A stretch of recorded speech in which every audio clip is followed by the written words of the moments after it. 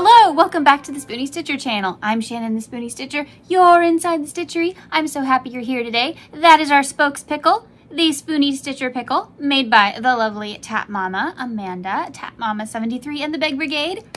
Go check out her channel. I will link it down below. Let's talk about crochet kits. So you know these kits, they come in a box like this, some kind of picture, a little book, and then something on the back. But this picture is always misleading because it does not show you all 12 patterns in that you get inside the book. It shows you some of them, but not all of them. Not to mention, most of these don't show you this many on the back either. You don't know what you're buying. You know you're getting 12 patterns, probably, and that's it. But I hardly ever see anybody actually go through the books in these things. They just talk about their experience and how it was crocheting it. But what about the other patterns in the book? Or if they talk about it, they hold them up for like a second, like, oh, here's Daniel the lion, here's the owl. No. So because it is the holiday season and these make good gifts, I thought I would talk about the patterns that are actually in these. You're welcome. Yeah. So, because it is the holiday season, I have four Christmas related ones that I thought we would talk about first. I have the Nutcracker, the Nativity, Rudolph, and Frosty the Snowman.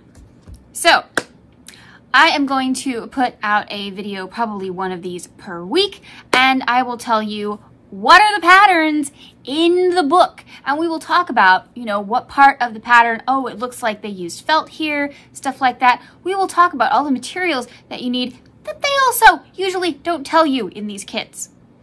Sometimes they come with like little scraps of felt so you can make those two projects that they give you the materials for but then you don't know what you need for the rest of them. And so I am going to do an in-depth look at the actual patterns that come in the books. So let's get started and let's look at one of the four Christmas books. Yes, all of these intros will be the same. So today's book is, drumroll, Frosty the Snowman.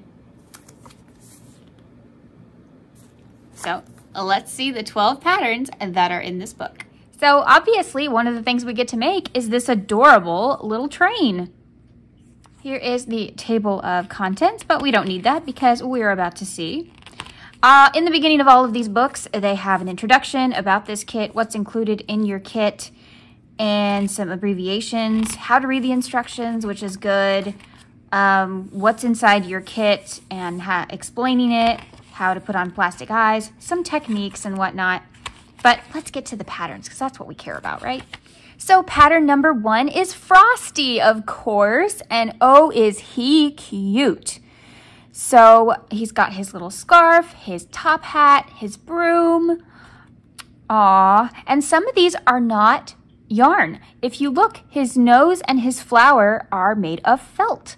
So there will be extra materials you might need. I'm not sure if it's included in the kit or not. Um, let's take a quick peek back at materials. Yes, they gave you a little scraps of felt, probably to make Frosty and one other character. Oh, what's included? You can make Frosty and Karen with the materials included in your kit. So that's good to know. So yes, our first one is the man himself, or snowman, Frosty. Now, I'm not going to show you the pattern, obviously, but I love this. Look, you can take your little piece of felt that they give you, or your, your own, and this is your templates for what you need to cut out and how big they need to be. Isn't that great? I'm so glad they give you templates. That's so nice. So our next one is Karen. Oh, she is adorable. Look at her little embroidered mouth. That's super cute. Oh, I like her a lot. She really does look like the illustration from the cartoon, so that's really cute. Let's see. Pearl Cotton Embroidery Floss number 8 and white pom-poms and a little bit of felt look like the only extra materials you might need. But again, Karen is supposed to be one of the ones that you can make with the kit, so maybe they have everything for you. But she's really cute, isn't she? Number three is Hocus Pocus, the magician's rabbit. How cute is he? Oh, you know what? So he would also make a really cute Easter bunny, would he not? Ideas, people. See, these kits can be used outside of the holiday they're meant for. Yeah, telling you, that's a cute Easter bunny right there. So his only extras are felt and a little bit of embroidery floss, I think. Yep, looks like it. So I like that they lined his ears with felt here. That's really cute. I'm kind of glad that's not crochet. I actually think he looks more, more toy-like with the felt. I think that's really, really sweet. Aww. And again, we have templates for the inside of his ears, his eyes, and his nose. Now we've got Frosty's hat that the rabbit can fit inside. How cute is that idea? Oh, I love that. So you can make Frosty's hat all by itself and put your rabbit inside. How cute. The hat is just crochet. Only thing you need is a yarn needle, obviously, as in extra materials. Such a cute idea. Now, a story would not be complete without a good villain. So, Professor Hinkle, also known as the Magician.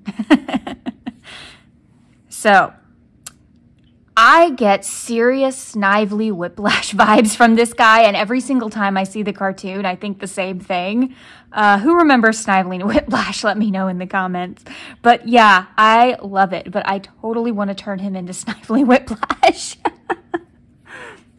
Anyway, um, he just has a little bit of embroidery floss, a teeny bit of felt for his eyes, and that's it for extra materials. So everything else um, you already have to make him. So, oh, he's kind of adorable in an odd way. and we do have um, some templates for his mouth and his eyes. Who do we have? The squirrel! Oh, he's cute! Aww. He's really cute. So it looks like just felt and embroidery floss. How did they do his paws? I'm going to have to look that up. Give me one second. Okay, so his paws are a little bit of work, but this is considered, you know, kind of intermediate.